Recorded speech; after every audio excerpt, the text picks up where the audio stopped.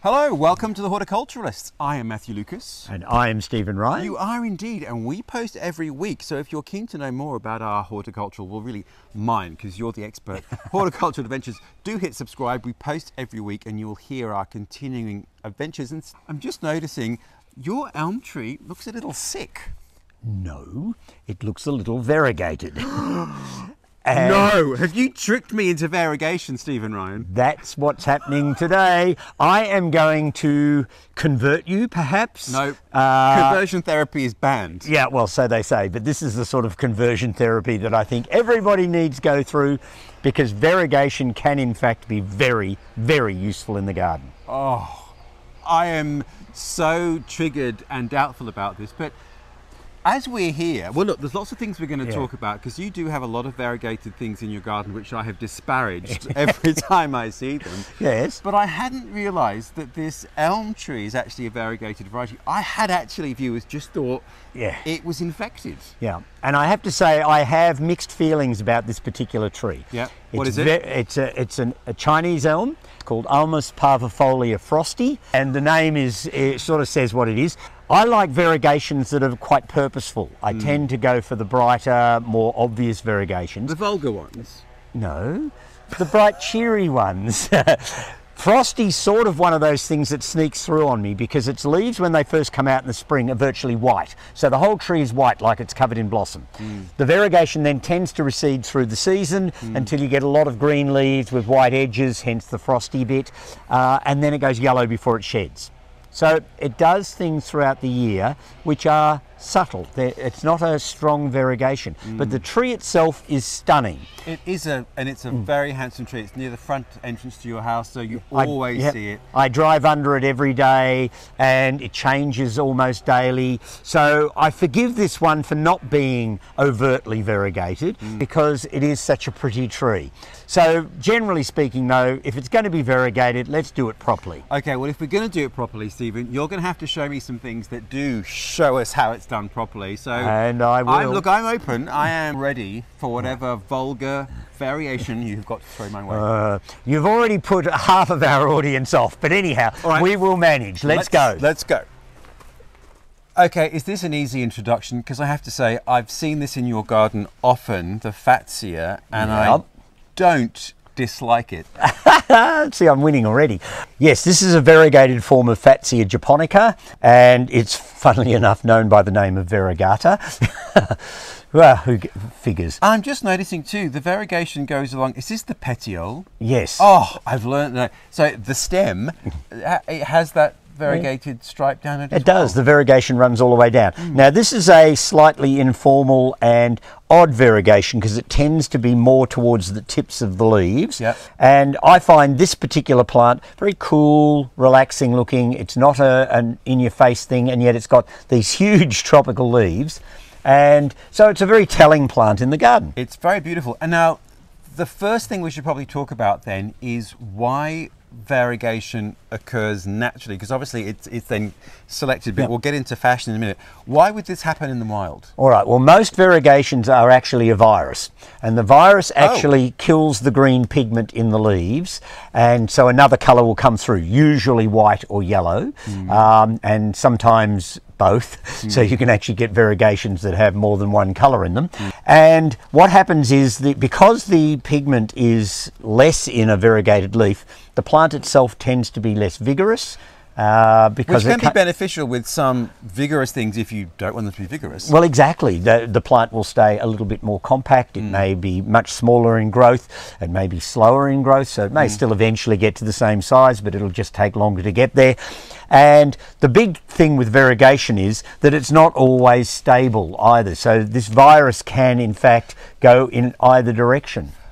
So, given that it's a virus, how is that trait passed on to its offspring? So your Fatsia's in bloom, yep. will produce viable seed. Yep. Do we know that the seeds of this plant are going to be variegated, or would you have to take a cutting from this uh, to ensure it? Most variegated plants do not transmit the virus through its seed. Uh -huh. So there are exceptions, but the vast majority of plants don't produce seed that will produce variegated plants. Hmm. Although, having said that, you can get a new variegate show up from seed, but that's hmm. because the virus has got in later. So, if you're going to propagate any of these plants, you normally have to do them vegetatively, so they'd have to be done by cuttings, Yeah. or you can do them by tissue culture. Hmm. It sometimes doesn't translate through the roots either. So, if in fact you can grow something from root cuttings, often the plants that you grow from root cuttings won't actually transmit the virus as well. But hang So- on, root cuttings. Uh, uh, I don't think we we'll have to do a film about root cuttings because I've never heard of such bizarre barbaric practice. Anyway, Yeah. let's carry on. Now, the other thing I noticed about this Fatsia is Yeah. that these this of crown yes. of leaves here has no pigmentation. Well, I mean, it has. It's Yeah. lost its chlorophyll largely. Yeah. Now, with no chlorophyll, the plant can't photosynthesize. No. What's going to happen to this stem? That stem will feed off the rest of the plant for quite some time. That stem's actually been there now for probably four or five years. Does it always have these very pale leaves? Yes, that stem is always white. Ah, but if I was to try and propagate it from a cutting, it's not self-sustaining because it has no chlorophyll, so it won't survive. So long term, it's a dead end. It's a cannibalistic parasite. It's eating its No, own self. Well, it's very pretty. I mean, at some It is- stage, I will give you that. It is Yeah. very Yeah. attractive. So variegation, uh, when it becomes completely variegated, is a dead end. And of course, the plant can go the other way and throw branches that are completely green. Now, therein does raise another issue. So the green branches are far more vigorous than the variegated ones, so they can actually take over. So if the variegation is important to you, if you get a green branch, Prune, prune, prune. take it out straight away because it can dominate the plant. So it can Mm. go back to being, in fact, a green one. Oh goodness me! All right. Well, you know, so far the conversion therapy is working because I, I, I've always admired this, even with its albino-ish bit there. Should we go and look at something else that might be more challenging, Stephen? Yes, I think I've got just the thing. Okay, I'm up for it. Uh, Mr. Ryan, here we are amongst your bamboo grove, and in fact, we did do a bamboo epic video, which we will link below. what a good idea. This I also find quite attractive. Uh oh, yes, You're well, there you winning go. so I am winning. It's interesting because variegated grasses and hostas apparently are actually plants that the tasteful gardener will still allow in their garden. You do have grasses, and maybe that'll be our next pit stop. But first, my question is can any sort of plant develop a variegated form? It's very possible. Uh, I'm not sure that there's anything out there that couldn't variegate at some point or another. So, and certainly new ones are showing up all the time. Uh, some which should end up in the compost, some of which people should in fact engage with. Yes. One has to be selective when one has a new variety, whether it's variegation or flower colour or whatever. True. There's no point in growing rubbish, and there has been some pretty rubbishy variegates out there at times. This leaf, though, we'll come and show you closely, is just stunning. Yeah, it's beautiful. It's a very organised striated variegation, so it's hmm. nice and stripy. And I think that's why some of these variegations are actually seen as tasteful, and whereas the splotty, botchy ones people see as hectic and vulgar. so these ones sort of make their way through. So this is one of the many variegated bamboos. There are quite a number of them. All right. But their variegation nearly always tends to be in this long stripy effect. And is this a clumping or a running bamboo? Uh, well, this one is classed actually as a running bamboo. It's a Hibanobambusa, but it's been in my garden for years and it hasn't even really started walking. so it may be that it's in quite a dry, root infested garden bed, so it's sort of holding it back. There you go. I guess the other thing of interest when it comes to variegates, because mm. they are actually a virus, they can spread. Okay. Yes. So, uh, are we gonna catch it? no, I don't think so. I hope not anyway. But the thing is, if you've got a lot of variegated plants in your garden, then there's actually more chance of something else that started out green throwing a variegated sport. So there you go. And I've got a number of plants in the garden at the moment that are actually doing that. So they're they've just spontaneously arisen in the garden here. We will see in time whether they're worthy plants to bring into cultivation. So that's the fascinating sort of science question as to how is it transmitted, whether it's through an insect or mycorrhizal fungi or Yeah. a biting, chewing thing that It's- bites and chews somewhere else. Normally sapsuckers. Is it? So things like aphid are particularly prone to spread not just variegation virus, but of course all sorts of viruses that are Right. detrimental to plant growth are spread by sap-sucking insects.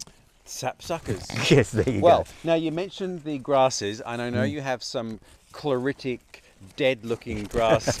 Uh, I've got some. front. I've got some stunning variegated grasses, which oh. we should go and look at. Let's go and have a look. All right, let's go. Variegated grass. Is this a grass? Well, it's a reed, uh, so it's slightly different to a true grass. But this is Arundo donax variegata, the variegated oboe reed. And for me, it's got to be one of the most spectacular and useful variegated plants I have in the garden. It's stunning. It is just beautiful. It can grow up to three or four metres tall, or sort of 12, 15 feet in the old measurements, and it has the most strikingly bold variegation, again with the lovely linear variegation that runs down the leaf. And I just treat it as a herbaceous perennial, cut the whole plant to the ground in the winter when it starts looking a bit scruffy, hmm. and then it all comes up fresh in the spring. And watching it erupt out of the ground is one of the highlights of the gardening year. There you go. So, given that it's herbaceous perennial, pretty hardy then. It's tough as, in fact, the green form of it is a declared noxious weed in Australia. The variegated one, being less vigorous, is less likely to be a problem. But of course, in my own garden, I manage it. So I don't allow it to set seed, I don't allow it to move around the garden hmm. because I want it where it is. So I hmm. dig up bits that are extraneous. And I think there's one more grass lurking over there. Yeah, a really weird looking variegated That looks we, sick. Yeah, we need to go and have a look at it as well. Because well. this is quite beautiful. Come on. All right, let's go. Behold, a chlorotic grass. No, another variegated grass. This is one of the miscanthus grasses, Yes. and unlike most grasses, it has decided not to have vertical stripes in it. It has bands across the leaf. Look Like at zebra that. stripes. It is actually really unusual and Yeah, striking. But they call it zebra grass. Oh, it almost looks like batik. It's extraordinary. Yeah, so it's a really weird variegation, uh, and very few plants do this sort of variegate. From a distance, it sort of looks like light is filtering in from somewhere. Or that it's sick and diseased. or the whatever. But I have to say, I quite enjoy it. But it is one of my more subtle variegated plants. Well, I'm getting more and more convinced by variegation, Stephen, but mm. let's see what else you have in store. All right, let's go and have a look at some other things. Well, here we have a variegated tree that I find quite successful in my garden. And this is a variegated form of Melia azedarach. Now, Melia comes from Southeast Asia right down into Northern Australia, so it could be considered as a native. And it's a deciduous tree. Uh, it gets quite attractive little mauve flowers on it, followed by yellow bead-like berries. But for me, it's this quite strong, strident variegation. This particular cultivar is called uh, Emerald Snowflake, and it's a nice stable variegation, and that does raise an issue. If it's a big tree and it's not stable, you're going to end up with a green piece 55 feet up in the tree, which you then have to deal with. So I will not plant a big tree that I don't think is a reliable and stable variegate. Otherwise it looks leprous. So this one's really interesting. You don't see it around very often, but it's definitely worthwhile looking out for. now, Matthew, here we have another variegated plant that I want you to engage with. I hate cannas. And I that's a- don't love variegation. What's this, Stephen? This is called a variegated canna. this is a canna called Canna Stuttgart. Oh, and Stuttgart exhibits something that is fairly common in variegated plants that Hmm. you need to be aware of. The But before you go any further, I am just going to contradict myself and say this actually looks very beautiful because its habit, it doesn't look very canna-like because it sort of looks more like a, a heliconia or something tropical. So, Yeah. I, Well- again, you're winning this battle. Anyway, Ah, ah, back, back right. to this particular All right. Now, it is illustrates something that you need to be aware of. Variegations are often more sun sensitive and the variegated part of the leaf will often burn. Now with a Ah. canna, we've got the problem that cannas like a fair bit of sun to grow well, Mm. but in the case of canna Stuttgart, if you put it in too much sun, all of the leaves will burn and this So one has this- got some serious burn marks on it. So that's what's happened. It's Yep. not just the leaf is aging, it's No, actually sunburn. It's sunburnt. So the trick is to find a place where you can grow the canna successfully so that it gets enough light, but where it's not out in a lot of hot sun where the leaves are going to burn and look scruffy. So it is quite a challenging plant to grow well. in Australia. Earlier, so probably morning light is best, isn't it? I would think so, and and very high light levels um, without too much direct sunlight on it the rest of the day Right. would work quite well. I must say, this is a really beautiful plant. What are its flowers like? Are they anything or are they nothing? Well, the, f- compared to most cannas, they're nothing in Yes. that most cannas have big, gaudy, Which is why I flamboyant flowers. like. Yeah, but this one has comparatively small, probably in the old measurements a couple of inches wide, and it's a soft apricot. Oh, okay. But So- the role that it places in the border, though, is beautiful because it's more about the foliage for Oh, you, isn't it? most definitely it's about the leaf, and mm. so I think it's a worthy plant if you can get the right spot to grow it well. It is. Okay, well, I'm still yet to be challenged, but I'm sure there is something I'm going to dislike intensely. Oh, well, let's hope so. let's go and have a look at some more. All right, Matthew, we have here a very bold and somewhat in your face variegation. This is a plant called Abutilon thompsonii picta. Picta meaning spotty, and it's an obvious name for a plant like this. This is a sort of plant that most people find is vulgar and offensive. Uh, I think it's a rather interesting variegation, and if you've got it growing in a semi shaded spot, it actually looks like sunlight is shining through from somewhere when you look at it from a distance. So some of these spotty variegates can be very useful in the shade to lighten it and make it look like sunlight's coming in. This one also has quite attractive orange Chinese lantern type flowers, uh, but that's not the main game. It's this bizarre, mottled, almost hologram type variegated foliage, which I find sort of honestly vulgar and attractive. Variegated ivy, Stephen. Ivy has thrown more variegations, I think, than almost any known plant. So Really? there's masses of different variegated forms of ivy. This one's one called Glacier, mm. and it's gone into its adult form because it's growing on a stump underneath. It covered the stump, and now there's nowhere else for it to go, so it produces its adult foliage, which is sort of more spearhead shaped and not Yep. so ivy like, and flowering, of course, because that's what it does when it goes adult. And what I'm noticing is it's a real bee magnet. I Oh, would never yeah. have thought that ivy, A, um, would be so floriferous, and B, that it would be such a pollinator's dream. Yes, the bees love it, and apparently, in its natural habitat, it's a very important pollination plant because it flowers at a time when the bees are looking for something. So, Yes. very useful. And so its habit, in terms of that maturity and then the flowering, is like the climbing hydrangea that we featured. Well done. You're Yes. exactly right. Yes, our climbing link. hydrangea. Yes, it, it does exactly the same thing. It has a juvenile form, then it grows to the top of something, and, And the starts to branches come then- out. yeah. yeah, and that's where it sets its flowers. So that's adult wood. And I have to say, this variegation I think is a very pleasant silvery light I variegation. And interestingly, just in terms of, of how to use it too, so you've grown it on a stump. Now, ivory is known for being quite vigorous, but you naturally contain it by making it a, um, a medium sized upright in the garden, and it has nowhere else to go. Yeah, and becomes basically a shrub. Yes. And it's beautiful right by the side of the drive. Yes, and I noticed a second ago Oh. that it's doing something naughty. it is Naughty reverting. Ivy corner. Yes, it's uh, it's reverting to the green. The green will be far more vigorous, as we've said before in this particular segment, and that needs to be removed. Now it's interesting you say that. You can immediately see the difference between the leaf. I mean, Yeah. the leaf size. Now, the variegated one is much smaller, Yeah. much more petite. Uh, the green one is much more vigorous, and therefore it needs to have its head taken off. Oh, All right, back in there we go. There we go, all gone. Well, here we go, Matthew. Another plant that I'm hoping you'll love is a variegated flax. Now, all right. Well, firstly, I generally, God, and I really don't want to offend people, but I do not like New Zealand flaxes. I always think they're scrappy. They're used in municipal planting badly. Yes. But I'm gonna say. This is really elegant. the problem with a lot of the hybrids and cultivars that are being grown and sold out there is that they have quite stiffly upright leaves and then they crack and bend. Yes, and actually, you've got one by the drive, which we'll we'll show footage of, which exemplifies that, and. I dislike that intensely. I hate to say.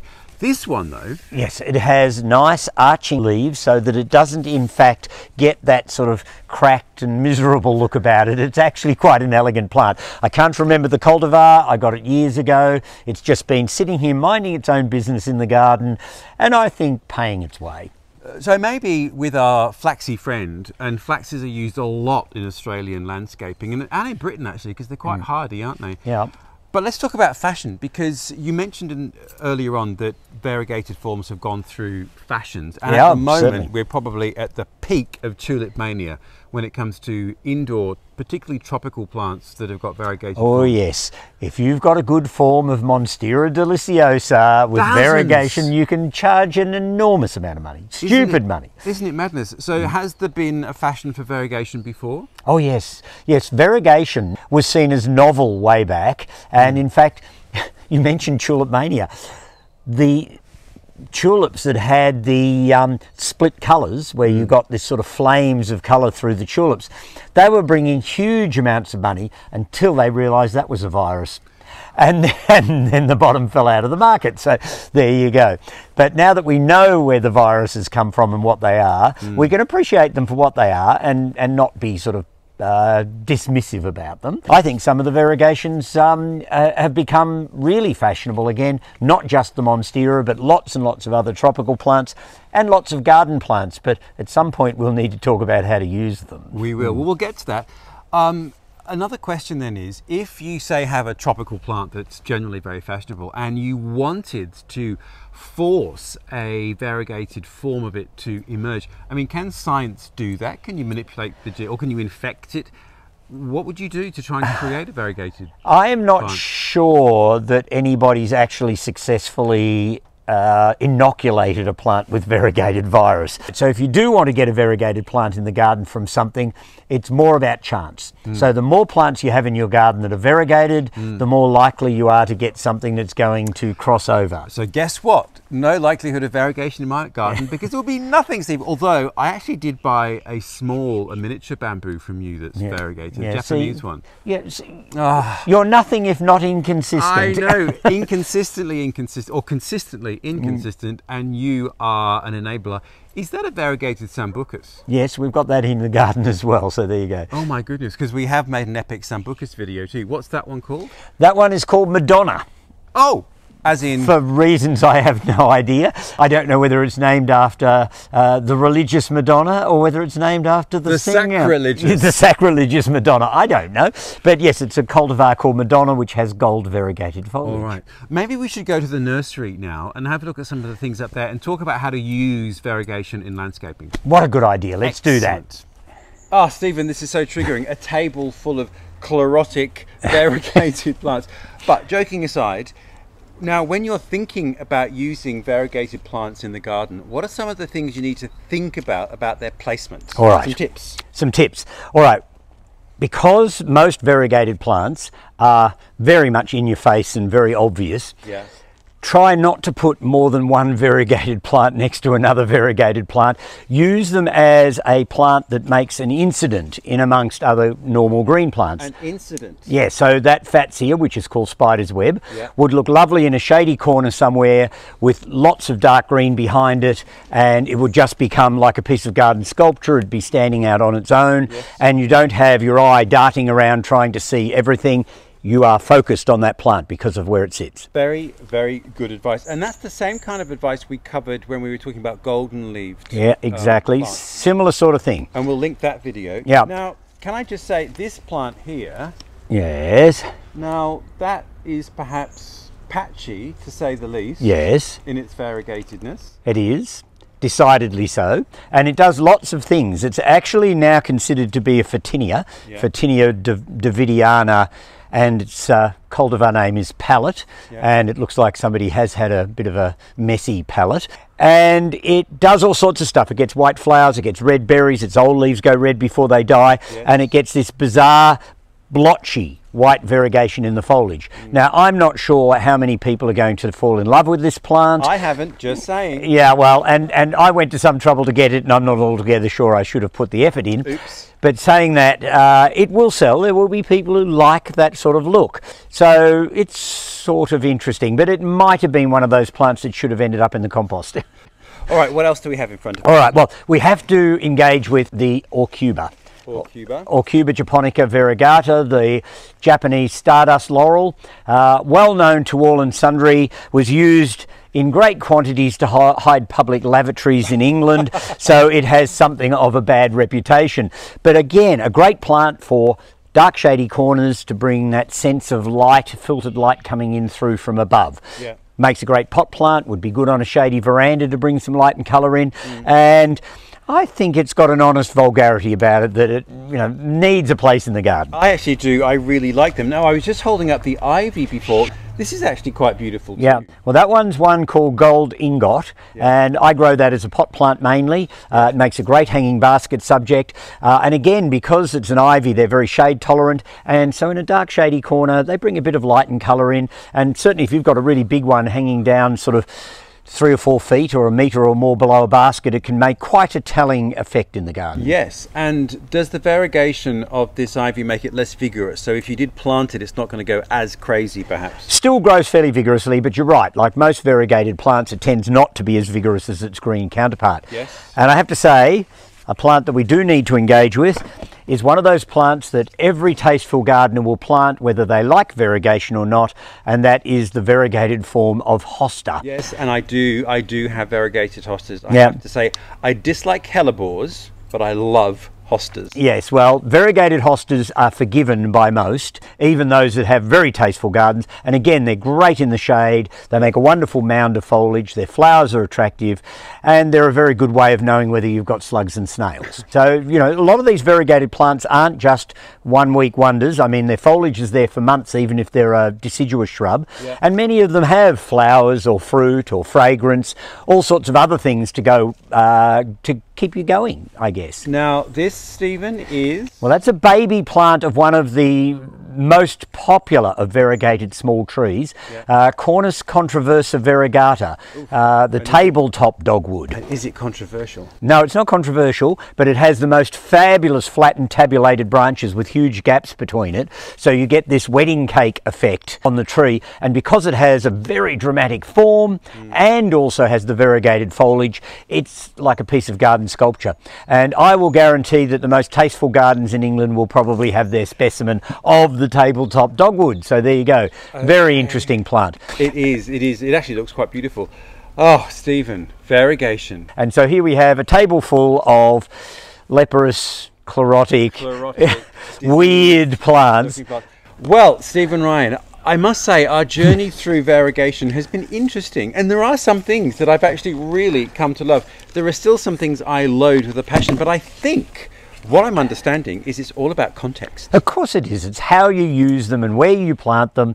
Uh, there's probably no such thing as a, an ugly plant in a sense, well, Well- except for that. But it's how you use them in the garden. And Yes. there's many a good plant that has been ruined by either overusage or poor usage. So True. you need to consider that. Okay. Well, I hope you've enjoyed this, Matthew. I can see by the look on your face that you're perhaps not completely convinced yet, but maybe I've turned your head a little bit and you are reassessing variegated plants, as I hope other people will. I certainly know there's plenty out there that are paying vast amounts of money for some variegated plants. Indeed, indeed, indeed. Well, if you want to know what we might be doing next week, which is triggering, you'll have to hit subscribe. We post every week on a Friday, so do follow our continuing horticultural adventures. I'm looking forward to something next week that I might really enjoy, Stephen, although I haven't not enjoyed this. Yeah, well, we will see. We might do something a little gentler for you. Okay, until next week, we'll see you soon. Bye all.